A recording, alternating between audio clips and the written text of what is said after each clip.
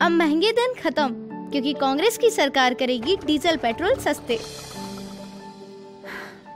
अब महँगे दिन खत्म क्योंकि कांग्रेस की सरकार करेगी मेरी रसोई गैस सस्ती। सुनो। जी? अब बिजली बिल होगा कम क्योंकि बिजली मिलेगी एक रुपए प्रति यूनिट सौ यूनिट तक। अच्छा तो फिर हमारा वोट किसको?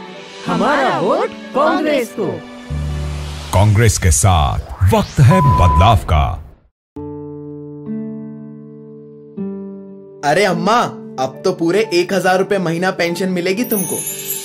और भैया आपके लिए भी आने वाला है नया सवेरा जिसमें मिलेगी निशुल्क ज़मीन और घर बनाने में ढाई लाख की सहायता भी।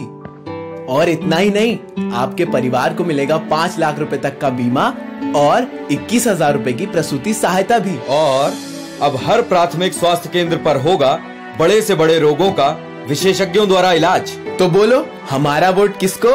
हमारा वोट कांग्रेस को।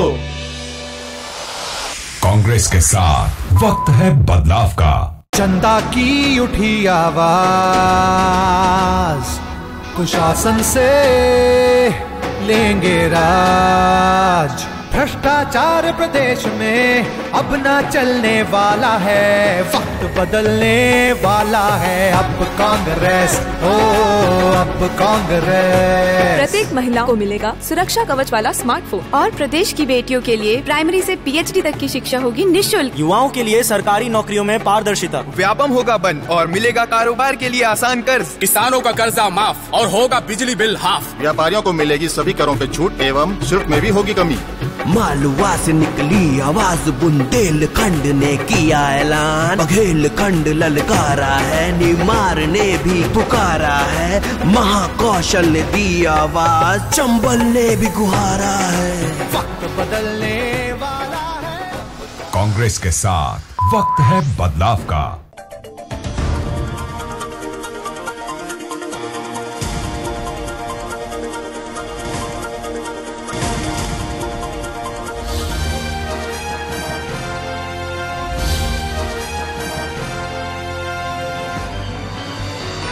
आप देख रहे हैं दखल न्यूज़। चार माह पूर्व बस्तर के जगदलपुर में प्रारंभ हुई हवाई सेवा पिछले डेढ़ माह से बंद है। प्रधानमंत्री द्वारा प्रारंभ की गई हवाई सेवा को एयर उड़ीसा के कुप्रबंधन ने सरकार की बदनामी का कारण बना दिया है।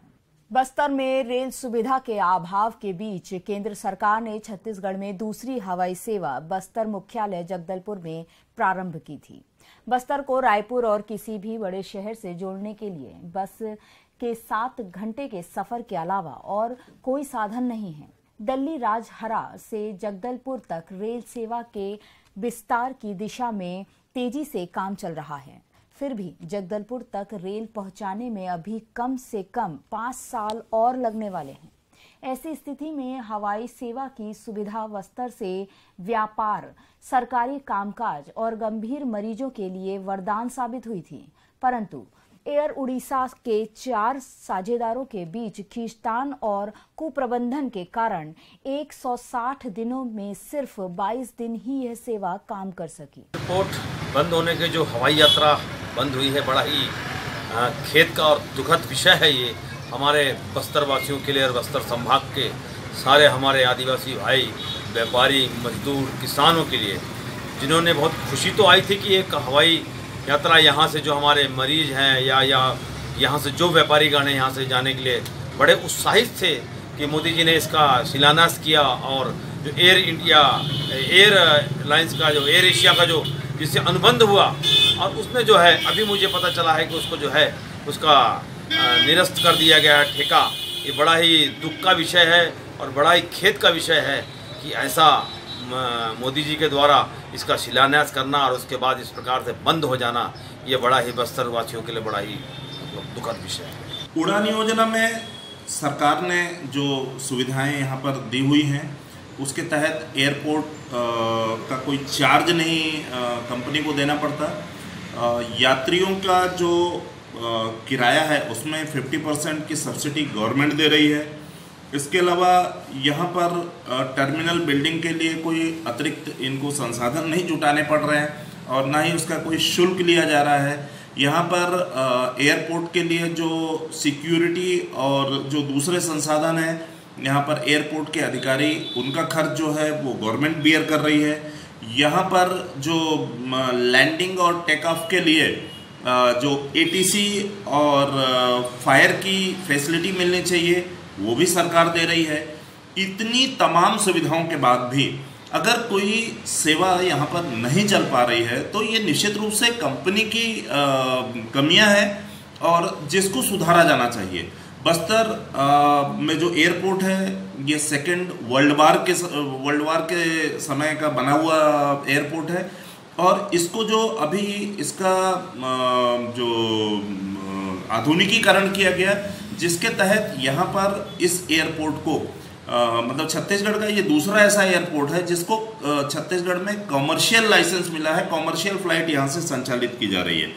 ऐसी स्थिति में अब जब चूँकि जो खबरें आ रही हैं कि ए, मतलब डीजीसीए की शर्तें ये कंपनी पूरी नहीं कर पाई है तो इसके तहत इसको डिबार किया जा रहा है और नए टेंडर की प्रक्रिया प्रारंभ की जा रही है। सरकार ने बस्तर की ज़रूरत को ध्यान में रखते हुए एयर उड़ीसा को एयरपोर्ट के मुफ़्त इस्तेमाल, सुरक्षा और फायर सेफ्टी के व्यय से मुक्त तो रखा ही था। साथ ही फ्यूल में भी टैक्स की खासी रियायत दी हुई थी।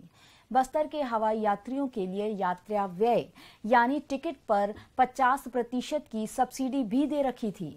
यानी आधे दर पर बस्तर के यात्री इस यात्रा का लाभ उठा रहे थे। इन 22 दिनों में एक हज़ार से ज़्यादा यात्रियों ने यात्रा भी की। अब सरकार ने एयर उड़ीसा का अनुबंध निरस्त कर दिया है। उम्मीद है कि जल्द ही नए टेंडर होंगे और यह हवाई सेवा सुचारू रूप से चल सकेगी।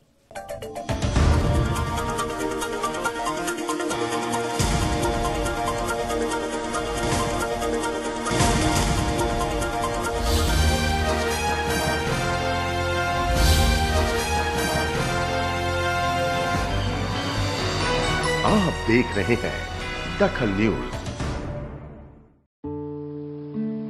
अब व्यापम बंद। अब नौकरियों में मिलेगी पारदर्शिता। हाँ पता है। अब करेंगे स्टार्टअप चालू क्योंकि पूरे चार हज़ार रूपए महीना स्वरोजगार सहायता जो मिलने वाली है। बिल्कुल सही कहा। अब मुझे भी टेम्परेरी संविदा नौकरी की टेंशन खत्म। अब मिलेगी पक्की नौकरी और पक्की तनख्वाह। और तो और अच्छी सैलरी और जॉब के लिए अब बाहर नहीं जाना पड़ेगा। जॉब्स यहीं आएँगे। कांग्रेस सरकार देगी हमारी तनख्वाह में दस हज़ार तक का योगदान। ये बात तो बोलो यारो। तुम्हारा वोट किसको? हमारा वोट कांग्रेस को। कांग्रेस को। कांग्रेस के। साथ वक्त है बदलाव का। देखो अब मुझे मिलेगा सुरक्षा कवच वाला स्मार्टफ़ोन स्वावलंबी महिलाओं का वक्त बदलेगा। क्योंकि हमारे स्व सहायता समूह के भी कर्ज होंगे माफ़ और नए कर्ज में मिलेगी रियायत। अरे अब मेरी बेटी की संपूर्ण शिक्षा होगी निशुल्क। और अब महिला स्वास्थ्य में आएगी नई क्रांति क्योंकि सैनिटरी नैपकिन होंगे निशुल्क उपलब्ध। तो बताओ हमारा वोट किसको? हमारा वोट कांग्रेस को। कांग्रेस के साथ वक्त है बदलाव का। गुस्सा आता है। जब मासूम बच्चियों को हैवानियत से नोचा जाता है। गुस्सा आता है।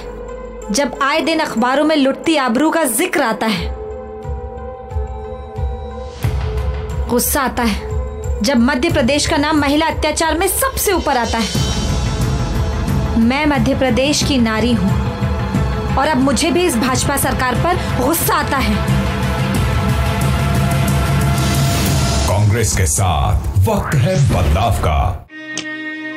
गुस्सा आता है। जब किसानों के हक का पैसा जन आशीर्वाद यात्राओं में खर्च हो जाता है, जब जनता के स्वास्थ्य का पैसा बड़े बड़े आयोजनों में उड़ जाता है अरे गुस्सा आता है, जब बच्चों की शिक्षा का पैसा गलियों में होर्डिंग बन के टंग जाता है, जब कर्ज में डूबी हुई सरकार का खजाना विज्ञापनों में खाली हो जाता है, मैं मध्य प्रदेश का एक नागरिक हूँ। और अब मुझे भी इस विज्ञापनों वाली भाजपा सरकार पर गुस्सा आता है। आता है। कांग्रेस के साथ वक्त है बदलाव का।